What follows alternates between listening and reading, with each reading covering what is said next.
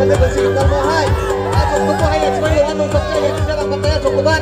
Ya, cilungan untuk saya.